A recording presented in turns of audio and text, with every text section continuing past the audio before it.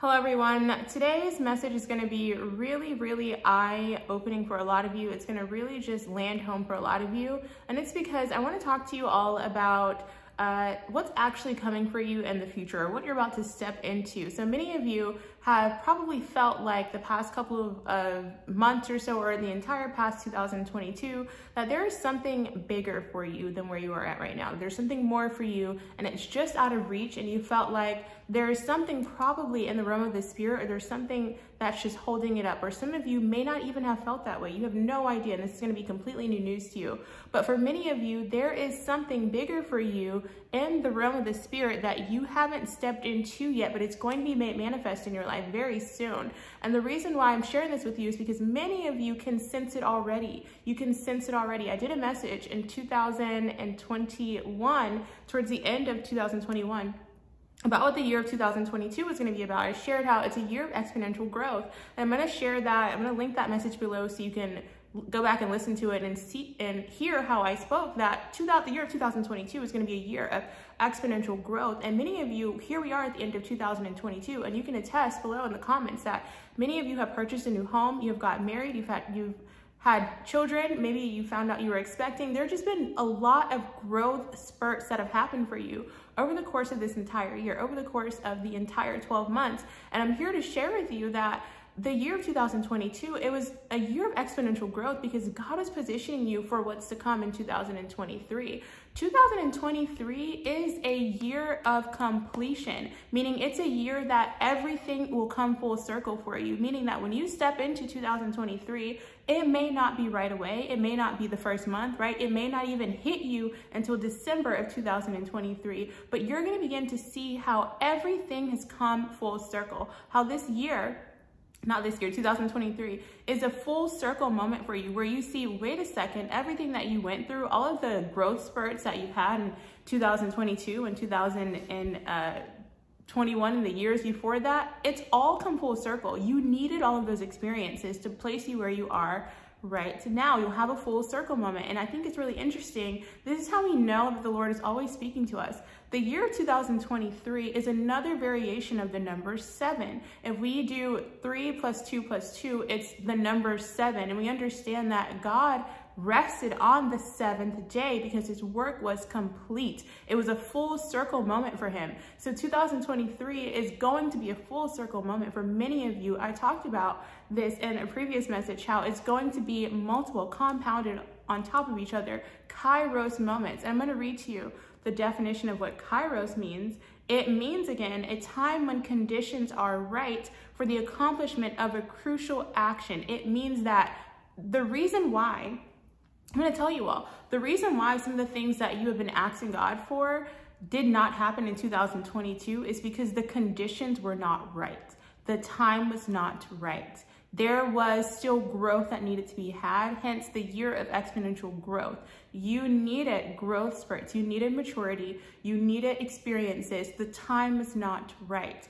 But you will have a full circle moment in 2023. So for those of you who have been sensing in your spirit, like you know there's something more for you, but you just feel like it's just out of reach, some of you can see it. Some of you know, hey, this is what God has for me. Some of you have received a prophetic word that God has something for you. Some of you have had someone directly tell you, hey, this is for you.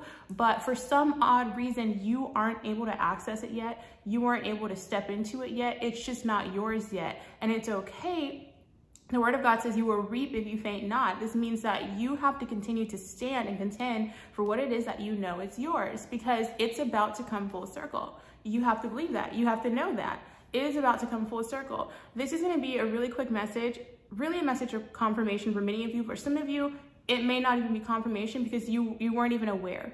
You weren't even aware. But right now, as I'm speaking, this Holy Spirit that is speaking through me has just made a check in your spirit and you know that this word is for you. If you know this is for you, if you have, you know, 2022 has been a year of exponential growth, for you, there is something coming for you in 2023. Continue to stand for it. Continue to stand for it because there are things that have been held up for you. There are, and as you continue to stand, the word of God says that you will reap if you faint not. There, all the things that you've done have not been done in vain. Have not been. There's some of you, I know right now, um, the Lord really just kind of gives me little downloads. But there's some of you who have just like completely just, um, I want to say settled. There's some of you who have just settled for where you are in life because you think that there's nothing else, like you feel like maybe there was something else out there for you, but um, discouragement, you've just been really discouraged. And so you've kind of thrown in everything, but stand and you will reap if you faint not. That's just, it's just what the word of God says. And if you follow it to the T, you will always reap a harvest. You will always reap a harvest. So I want to give this word of encouragement to many of you that there is something bigger for you. And if you have gone through periods of just like growth spurt after growth spurt and experiences that are just out of this world in 2022, keep standing because it's going to come full circle. It's going to come full circle. And I want you to, if you want to do this, I want you to save this video and come back next year and testify because I'm telling you, you're going to have many full circle Kairos moments. So I'll leave you all with that today. Really quick message. I love you all as always. There's many resources for you all below. If you have any questions, just put it in the comments or go to the website and send me an email. There's a Promise Land mentorship for those of you who have not planted your seed in fertile ground. Maybe there's something that you've been praying to God for and you're believing in him for um, for the year 2023, then plant a seed in the ground. And this is, I'm gonna, I wanna say this because this is for somebody that I know will probably have this question. When you're planting seed in fertile ground, you're not buying a blessing. I wanna just put that out there. You're not buying a blessing. What you're doing is you're putting seed in the ground so that God has something to multiply. It's just a biblical principle. It's how it works. If you, it works in the natural and it works in the spiritual, right? If you want to cultivate really great relationships with other people, you're going to plant seeds into your relationships, right? If you want to have a healthy marriage, you're going to plant seeds to continue to cultivate that marriage, right? If you want to have an apple tree, you're going to plant apple uh, apple seeds. It's just the way that things work, and it's also a biblical principle. So I'll leave you all with that today. Make sure that you share this message because I know that there's so many people who need to hear this, especially those, like I said, who have been in a period of just being discouraged and they're thinking to themselves that there's just where they're at is all they're ever going to be.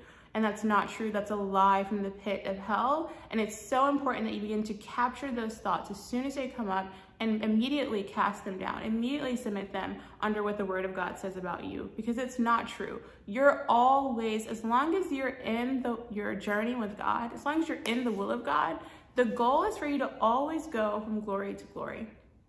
That's God's will for you. That's his desire for, for you, from glory to glory.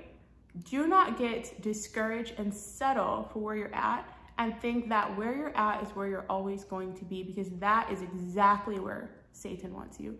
Exactly where he wants you because you're then you're not you're not displaying the glory of God. Then God can't display his glory through you. God can't use you as a vessel because you've settled for where you are at. So I love you all. Let me know if this confirmed a lot of things for you and I will talk with you in the next message.